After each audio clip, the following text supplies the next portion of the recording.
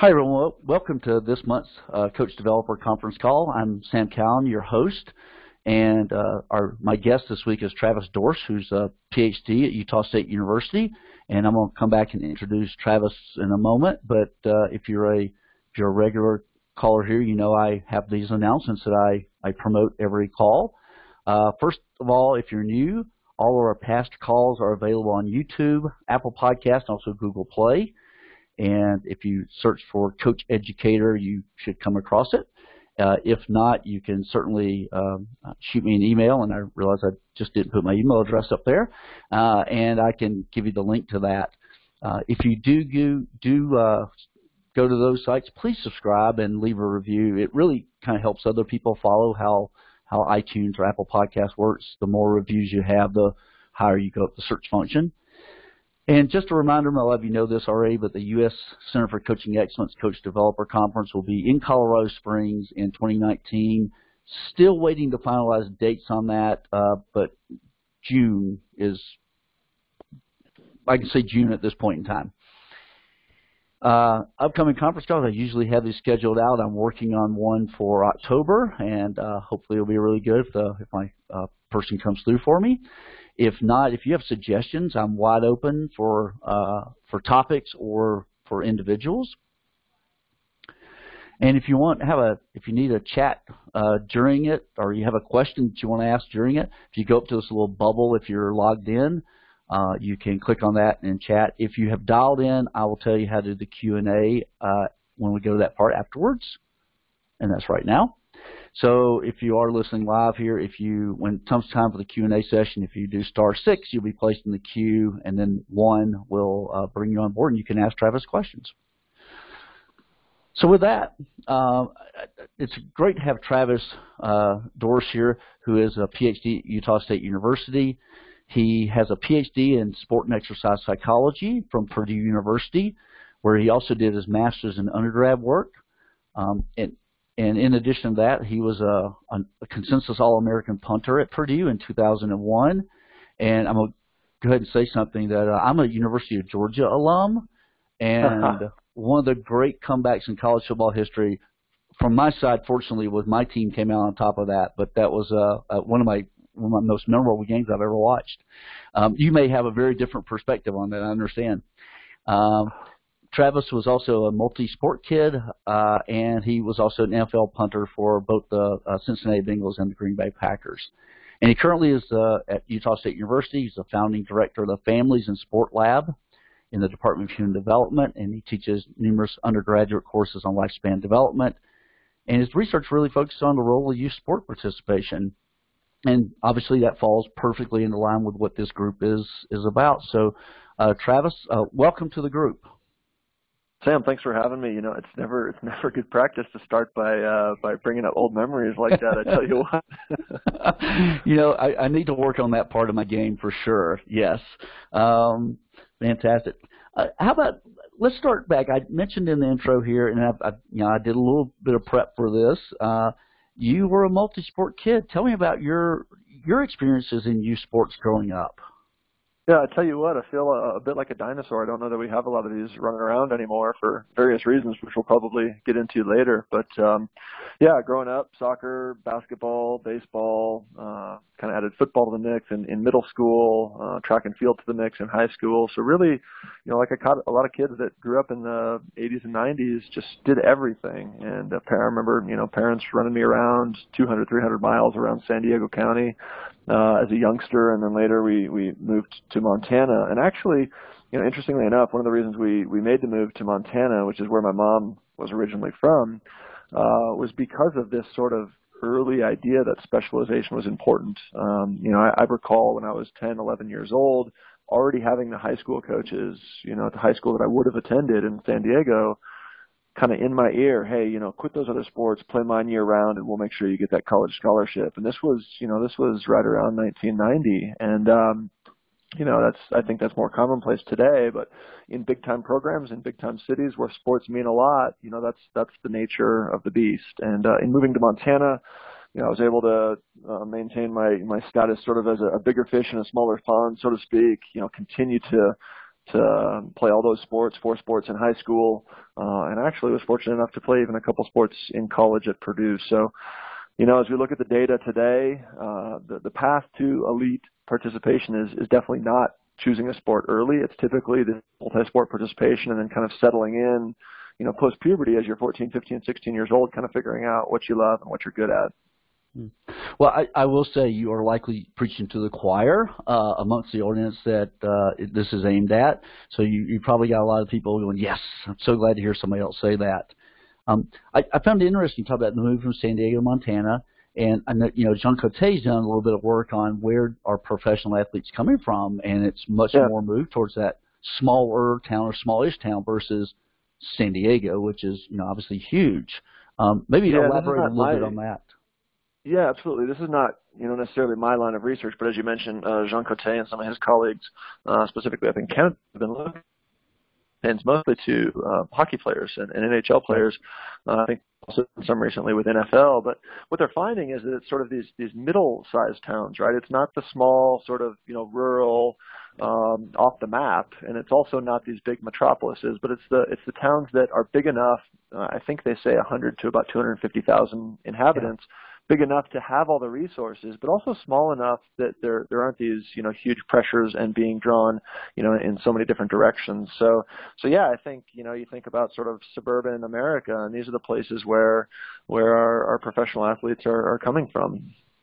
Yeah, and you know I, I'm I'm a bit older than you, and I can remember you know so many cases seem like that the kids who were going into you know professional sports came from you know, kind of, lot, and a lot of it was basketball that I was following at the time. So a lot of it was like inner city poor kids and stuff. And now we've even seen that shift where it's much more of, it's a middle class thing now to to do that. You seems like you hear fewer and fewer of those stories of kids either from super small towns like you know, I don't know, French Lick, Indiana comes to mind. Right. Um, right you know, big Larry Bird fan, what can I say?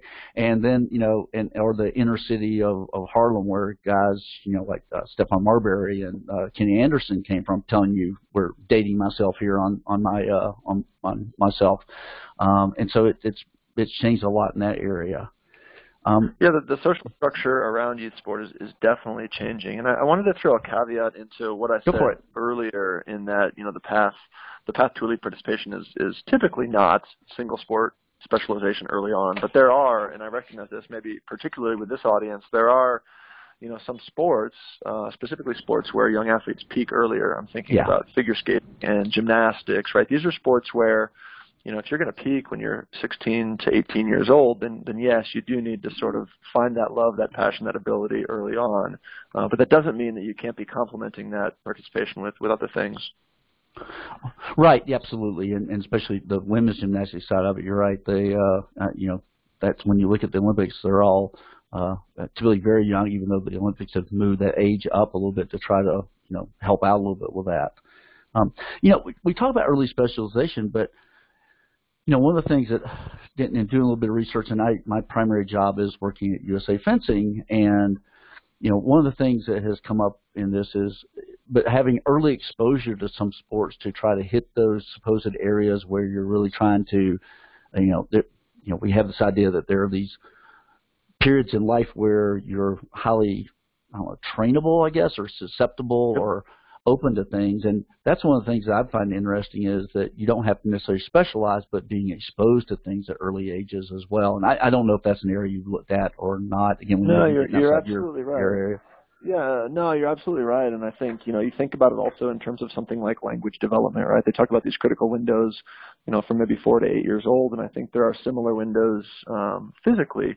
And the nice thing about it, as you mentioned, you don't have to specialize. You, you just expose kids to different options and different things and see what they learn to love and see what their body grows into. But, but then they can come back to it, you know, at a serious level when they're, you know, 8, 10, 12, 14 years old. And, and it's almost like they never left. There's also, uh, you know, something in the motor learning and motor development literature that, that speaks to this idea of, of transfer, skill transfer, right? So someone who's out there playing soccer, right, is becoming a better tennis player via learning things like footwork, right? And I think a couple great right. examples are Roger Federer, Rafa Nadal, both great soccer players growing up who've transitioned now obviously into all-time great tennis players and, and largely because of their footwork. Uh, and I, I think there are examples in all kinds of uh, of other sports, and I can lean on some of the lessons that I learned, you know, in one sport and, and took it to another. And, and some of those lessons were physical, others were sort of socio-emotional, dealing with coaches, dealing with teammates, you know, learning how to deal with failure, all those types of things that transfer across contexts.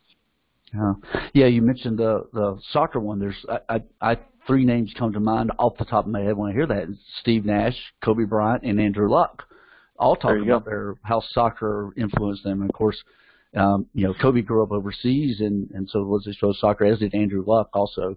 Um, and then um, Nash sounds like he just played soccer because it's something a lot of kids do. On that, yeah, very good.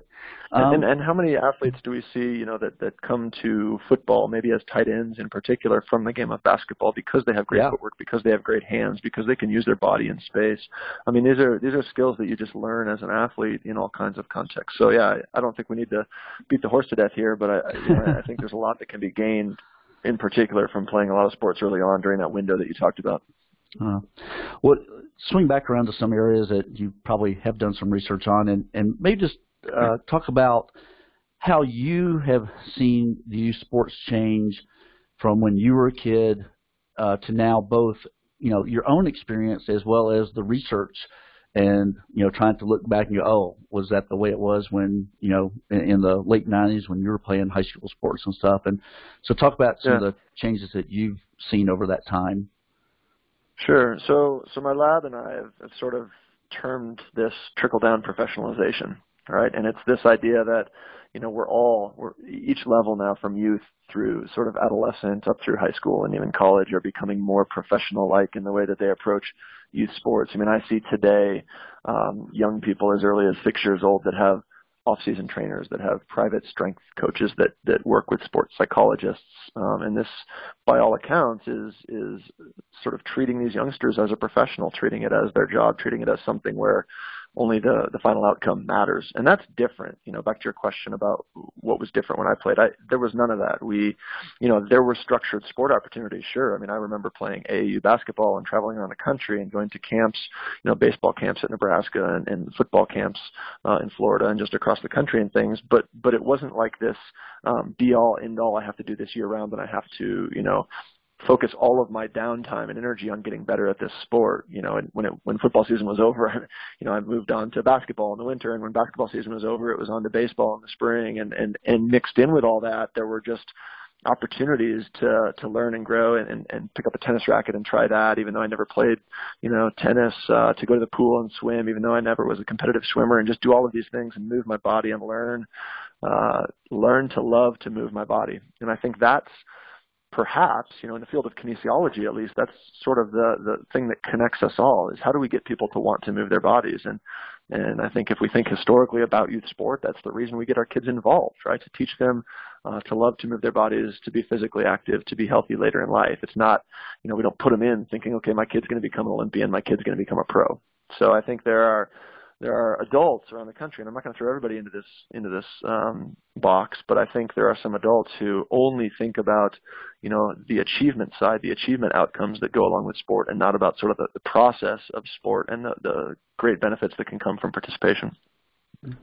And, you know, what what do you what's your research showing in terms of that that effect when the parents are so focused on that outcome? and yeah. and so focused on either, you know, I. I, I think the the chasing the college scholarship right now is this thing, and I I see it in fencing, and I'll I'll kind of come back to that um, as well. But what's the effect of the kids on that when they're ten or twelve years old, when mom and or dad are are are putting that pressure on them? Yeah, well, you teed this one up really nicely, and I'm not sure if you if you read this bit of our research or or if you're just sort of speaking in generalities here, but but you led me into this study that we conducted in 2016. Some colleagues and I were really for. interested. Yeah, yeah, yeah. I mean, we were really interested in in this idea of what effect is money having on um, both parent involvement, but then also on the downstream effects for the kids in, in sport. And what we found is really interesting. I mean, we went we went into this, you know, sort of with this naive caricature of the American family whereby you know the kids the rich kids are going to have better experiences right? The parents who can spend the money are going to have kids who have better coaches better off season trainers. They can go to camps and travel for tournaments and they wear better equipment, right? So, you know, what could possibly go wrong, right? They have all of these all of these opportunities in sport.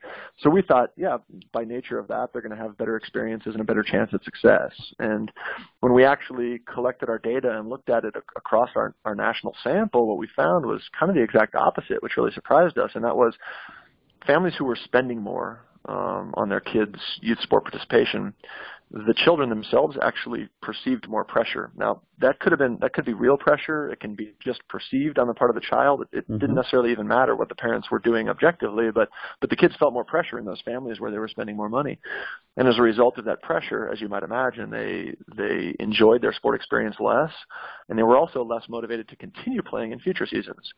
So kind of the kind of the whole of that uh, sequence of variables that I just described is that families who are spending more have kids who actually enjoy sport less and don't want to play in future seasons, which which seems to be sort of counterintuitive and the opposite of what what parents would want. Right. Um, now, the interesting thing here is that statistically speaking, at least when we when we took the the perception of parent pressure out of that model, everything else fell apart. So said differently, it wasn't about the spending, right? It was about how parents interacted with their kids as a result of that spending.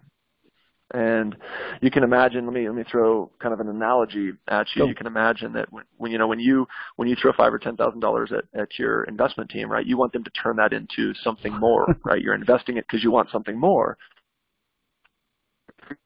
Youth sports today as an investment, right? I'm putting I'm putting ten thousand in for your basketball participation, travel, you know, travel team this year. We're going to tournaments, camps, coaches, all this what am I going to get out of that, right? Are you going to be um, a starter? Are you going to earn a varsity letter? Are you going to go on and get a college scholarship, as you mentioned, chasing that scholarship? Are you going to get to the NBA, right? What is my return? What's my ROI as a parent on this investment in you as a young athlete? And I, you know, I encourage parents all the time to not think about the investment as showing return in all of those sort of tangible, measurable things, but in showing return in your in your child's development and experience. And also yours as a parent. I mean you're going to go through this journey with them. So what is your experience like? Is this something that's strengthening your family that's teaching your child skills that will carry over someday to their job and to their own family right? So what are what are the things that we value i guess is what i'm what i'm really boiling this down to. What are the things we value as a result of sport? Uh, well yeah and i i think there's just there's that subtle pressure on it. And I, i'll i'll share you know, my experience was not in sport, but my my family didn't have a lot of money growing up, and I went to I went to a private high school that I I, I found out later that wow, it was pretty expensive. And mm-hmm. but I do remember suddenly feeling some pressure to make good grades right. because my parents were spending, you know, a, a chunk of money that you know, I still don't know. My, my sister and I talk about this all the time. We don't know where the money came from, and every now and then I go, God, were they doing something illegal or what to pay for this? and uh, but I did feel that pressure to make really good grades and succeed and and and do that. So I I can imagine that. Yeah, if it's very I mean, it's it's more overt with sports sometimes. If you're paying the trainer and the club fees, and um, you know, I think kids are probably aware of that too. That it's got to play a role uh, with them in some way um, on a big one. And you know, this kind of leads into another one. Uh, I, I watched your TEDx talk from uh, March of 2018, and you uh, you referenced Dan Ariely's work, and I'm a huge Dan Ariely fan. By the way, he's a behavioral eco- economics person. For those of you who don't know, um, and you talked about his work on motivation, and you even applied it to yourself, going from as a kid to an NFL player. Can you maybe talk about that? I think that plays a little bit into this uh, whole idea of, of this pressure and how it changes folks in motivation. Yeah, sure, absolutely. So, you know, I think, you know, when we when we think about through a, through a regular everyday lens, when we think about if we're already motivated to do something, and we add a reward to that, like money, right? So think about your kid, right? If your kid loves mowing the lawn, and you, and and you say, well, you know what? Let's make this one of your chores. We're going to pay you five dollars to mow the lawn. We think that that should actually enhance their motivation, right? Because they already loved it, and now we're giving them something they are they love, also money, right? Um, so they should love it more. It's kind of this this positive times a positive should equal a bigger positive.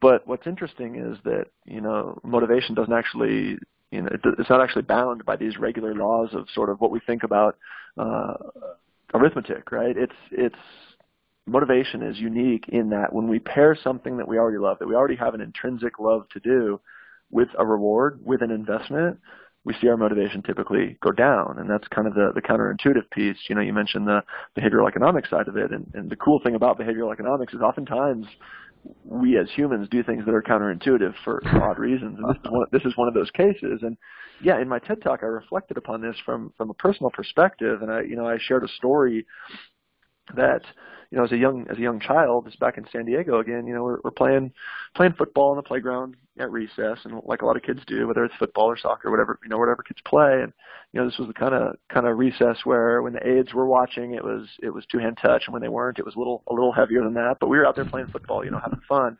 And um, and I remember some conversations with my uh, with my classmates, many of whom went on to play either college football or college uh, basketball or baseball or whatever it might be. I mean, we, we had some good athletes in, in my class, and I remember having conversations with them, thinking like, "Wow, these guys actually get paid to do this. This is so fun. We just come out here and play, and we're smiling and having fun and competing and getting into each other's grill, you know." And and can you imagine we could get paid for this? right? And and we kind of left it there, thinking, well, yeah, that's it's kind of a pipe dream. Nobody's going to go in and play in the NFL, but then I find myself in my mid 20s with that exact opportunity. And and I recall, you know, sitting at home, you know, six figure salary going into my bank account, just depressed and thinking, you know, man, they're they're not paying me enough to do this for for a, for a living, right? And it, it was just a very different feeling than playing for fun for free on the playground at recess to when it becomes a job, to when we pair that reward, that investment, that salary with something that I should have and did inherently love, which was you know competing and playing sports. Um, but I'm just sitting there thinking, wow, this is this is more of a burden than anything, and um, that's unfortunate. And and I get it that professional sport. I mean, that's not going to go away in professional sports. But but why should we be subjecting our, our high school and our adolescent and our youth um, to to that in the lower ranks of sports as they're just trying to develop that passion and just trying to learn new skills and, and kind of find their way. There's no reason that we should be putting so much pressure on them, right? That that kids, like you said, shouldn't be coming home and trying to figure out where are mom and dad getting this money and what are they expecting in return for this investment, right? Um, so yeah, I think there's a lot there's a lot to that when we can apply this uh, behavioral economics lens to a lot of our sport research, and I think it's something we haven't been doing. I think it's a it's a cool trend in our field now. Uh, it's it's something we should we should continue to do. Yeah, uh, yeah, I, lo- I love the behavioral economics stuff. I've really gotten into reading Kahneman and Tversky and um, and yep. Ariely. Ariely brings such a fun way of looking at it too. That if if folks haven't seen some of his TED talks, they are they're, they're you know they're witty, they're funny, and they also you know share a lot of good information. There's my plug for for Dan Ariely. Um, there you go. You know, it, it's funny. You mentioned early on that you at, at the uh, families and sport lab at Utah State, you guys refer to as the trickle down professionalization. I I refer to this as the adultification of youth sports. Um, Absolutely. Partly because it has that it has that kind of you know it, it connotes something that's going on there in my mind anyway. Um, yeah. And and we we're seeing that a lot now. And I mentioned earlier that we uh, we have a little working group of on parent engagement that some of the NGBs are involved in, along with uh, along with Chris Snyder from the U.S. Olympic Committee as well. And you know, one of the things that I've noticed, and I was a trainer for Positive Coaching Alliance for a couple of years as well, and I would do parent talks at high schools, and you know, one of the parents one day after doing this was, you know, said something effective. You know, we're not the parents you need to be talking to. Right. And, and you know, it's it's it's so true. You know, the people who came to that are the people who probably already get it, and and partly I wonder then why'd you come? You know, because you already are doing this, but yet I do that too, so I kind of understand that. But but how do we reach how do we reach parents to get this message to them that you know, look, putting all this pressure on your kid is not going to get them where you want them to go and maybe where they want to go either. Um, you know, how do we how do we get those behaviors to change? How do we how to reach out and get to the parents that really um, don't get it, if you will, um, and and and pull that around so that it's a little different. So we don't have YouTube videos of parents at the under 10 softball match getting into you know fights in the stands and uh, right. and whatnot, which just happened a few months ago, as probably a lot of people sure. know. So anyway, long-winded question um, on how do we how do we reach those parents? Well, I mean, if I there's no silver bullet, if I had the answer, I, I surely wouldn't be a professor. I'd be making more money doing something else. but um, you know, I think this is this is an oil tanker, right? And we're we're trying to turn this bad boy around in in choppy seas, and that doesn't that doesn't happen with one turn of the wheel. I mean, this is this is a slow this is a slow maneuver we're trying to pull off. And I think the key is that we look at this um, sort of from a two lens perspective, and that is I think we need to have the grassroots. We need to have a movement among parents that hey, this this is not okay. This is not how youth sport was intended to be designed. This is not how we want to be involved in youth sport, and we demand a change, right? And and when there's when there's a critical mass of parents that feel that way, then some movement can start to happen at the grassroots level. But simultaneously, we also need sort of a top-down approach. And, and uh, incidentally, neither of these will work in isolation. They need to happen, you know, simultaneously. Right. But we need we need people like you with national governing bodies, and people like me that are doing the research, and people like a Tom Farrey at the Aspen Institute who's in private industry. You know, we need this sort of top-down, like, hey, here's what we know, here's what the evidence says, here's how we can be better, here are some tips and tools and strategies that might inform that grassroots movement. So it's it sort of becomes like this sandwich where we're squeezing out, right? If if you have, uh, have a jelly sandwich, right, or a mm. Nutella mm. crepe, and you squeeze it, all that stuff's going to come out of the middle, and and that's kind of how I, I look at this. We need to apply pressure, good pressure from the top and the bottom, um, to really change how we envision youth sports happening in America. Now, we're never going to get rid of this pyramid where our goal is is to get is to find the best of the best, right? And and those are the people that are going to compete for you and for for other you know Olympic sports and for college and professional sports, right? We're, mm-hmm. we're never going to get rid of that search to find the best. But what we need to do is also consider how we can provide structured, um, evidence-based, and quality opportunities for those that kind of get left out or left behind of that, right? For for the 12-year-old that's that's not good enough to go play travel soccer, what are the rec opportunities? What are the, the interscholastic or intrascholastic opportunities for for that youngster? Um, for the 16-year-old that maybe wants to try a new sport, but realizes that hey, all my all of my cohorts been doing this for 13 years. I'm way behind. Well, how does that person find an, an insertion point into into sport? I think there are a lot of cool questions that we need to be asking and finding answers for that surround sport that isn't this sort of traditional put your kid in, get him to 10,000 hours of deliberate practice, turn him into an expert, and find him, you know, the competitive opportunity. Yeah, I, yeah, you, you've hit on a lot of things. I, you know, uh, again, I, there is a there is a segment of of the Olympic world where it is about medals and doing that thing, but I think a lot of us also realize that that it's good to have those kids stick around in the sport and and for some sports, I think it is easier. Uh, I, you know, I think of sports like fencing, golf, tennis, some others where, uh, you know, yeah, there you can get cut in high school from the team doing that, but uh, at least fencing doesn't have a big high school presence, so probably not a good example on that one. But, but it's not one of those. I mean, we have fencing tournaments that as long as you pay your fee, you can keep doing it. You you don't have to be on a team to do that. So sometimes individual sports may be more open to that and having a lifelong path versus um, you know versus some of the team sport things where it gets a little trickier and kids get cut. Because I, I think all of us, even in, the high performance world, look at this and go, yeah, we really do need those kids to to stick well, around because and, they also yeah. become referees and coaches and right. administrators and uh, volunteers and things, and so they're an important yeah. component in in that pinnacle at the top. Now, yeah, and sorry, I think you're, just, you're, you're winnowing. No, you're good. You're, you're you're just winnowing the field too early, especially in small hmm. sports like fencing, like yeah. um, like alpine skiing. I was talking to one of your colleagues, John Casson, uh, ah, up in Park yes. City. I don't know if you know John. I yeah, know him well. And, and John, I perfect. Yeah, so he just uh, moved up to Canada. They they stole him, man. But uh, traitor. Yes, I know. But uh, you know, he's back. He's back on the slopes. He's back doing what he loves. But he yeah. formerly, in his former life down here in Park City, was in charge of, of a lot of the U.S. Uh, ski and snowboards coaching ed stuff, as you know. Mm-hmm. And I was talking to him about this very question, and he shared an example of uh, Bode Miller and how how Bode, as a youngster, was somebody that nobody projected as becoming an elite skier. He he wasn't there physically, he wasn't there mentally, and it took him until his sort of mid, even to late teens, yeah. to become the kind of athlete that they knew, you know, was inside of him, but he just wasn't demonstrating that at the, at the youth ages. So you know, yeah, he, he could have been a casualty of getting cut from their developmental squad, you know, at 12, 13, 14, and they could have just written him off and said, you know what, this guy's never going to develop. He's not mature enough. He doesn't put the time in. And, and he could have been gone and out of the out of the game, uh, but instead, you know, they stuck with him, uh, and and he obviously produced as an Olympian uh, multiple times. So yeah. I hate, I hate, I hate, and that's a strong word, but when when we cut 12 year olds who haven't yeah. yet even hit puberty, who haven't yet grown into their, their bodies, their minds, their emotions. Um, it, it, I struggle with that, and I struggle with telling that kid you're not good enough anymore when we don't know. We don't have a crystal ball. We don't know at 18, at 24, at 30 how that how that young athlete's going to turn into you know an, a young adult athlete.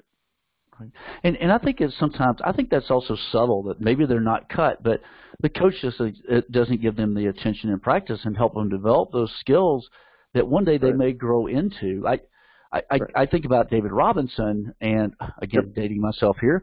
You know, he he had this late in life growth spurt where he grew to be really tall, but so he learned a lot of skills that you normally associate with, you know, maybe a, a guard or a small forward which is one of the reasons that he could play as well as he could play because you know again he was good enough at that point that coaches were paying attention to him but he developed those well-rounded skills. Well you know you got a 12 year old who coach isn't giving them attention. It's just not fun anymore. I'm not learning anything. And so i quit. I i walk away. So almost like a soft cut in a way than a you didn't make the top 15 and you know go your own way.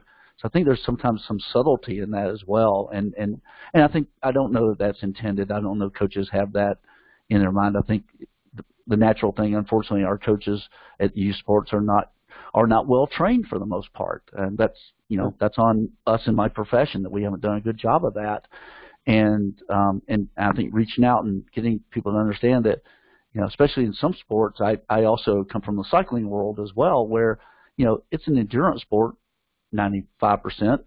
And, you know, that's a late developing sport. Yep. And you've got the scrawny little 12 year old who finishes, you know, 15th in the race might just be the kid who ends up winning a stage at the, you know, at the, at the Vuelta or, uh, at the, you know, at the Giro d'Italia, which is actually kind of the path that a recent stage winner followed was he was the scrawny 12 year old who went under yeah. that. So my, my rant well, on that just as an aside, Tim Duncan very likely, had he not had that growth spurt, would have become right. an Olympic swimmer. So yeah, you, know, you never you never know. He could have been the first Michael Phelps. Um, yeah, and, and you're right. You're absolutely right about the development of skills and the opportunities. Um, this is sort of that that what we call in, in science speak sort of this gene environment transaction where you know your, your genes give you your bod- bodily potentialities and then you find an environment and, and that environment and your genes sort of have this transaction as you develop an ability.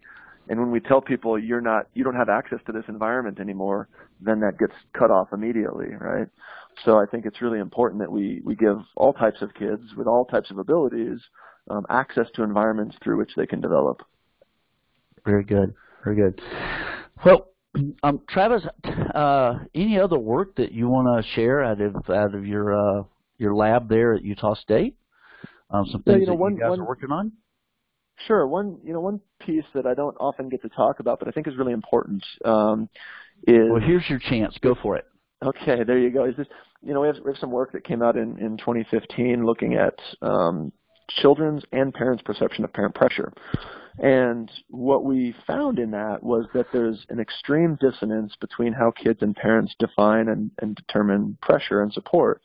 And oftentimes there might be some objective behavior where a parent does something and, and they themselves define this as, oh, hey, I'm being super supportive, right? Hey, you know, I gave my kid $10,000 for this, this experience in youth basketball. You know, I'm driving him all around the country. You know, I, I, I mm. hired him a private coach. I talk to him all the time about it. Like I'm being super supportive as a parent, right? But you ask the kid about those very same behaviors and how that impacts the child, and it's it's very much on the side of the coin of, of pressure. So, you know, one thing that we encourage when we talk to parents all the time is don't look at this through your adult lens. You called it the adultification of sport, right? Don't look at sport through your adult lens, but instead try and sort of do a 180 and think about how is my child perceiving my involvement? How are they perceiving their experience? How are they perceiving uh, the coach? Um, you know, and, and, and really get to know their goals, the child's goals. Really get to understand how I as a parent can help facilitate those goals rather than mine, which might be very different. And I think you know, when those, I, I've seen in families where those conversations take place, even if with a teenager, sometimes those conversations can be awkward. Mm-hmm. Uh, in, in the families where those conversations take place, family members are typically on the same page and, and they get one another. There isn't this sort of conflict about, you know, who, who knew what and when and what are we striving to do here, but rather we're all sort of pulling the rope in the same direction. Yeah.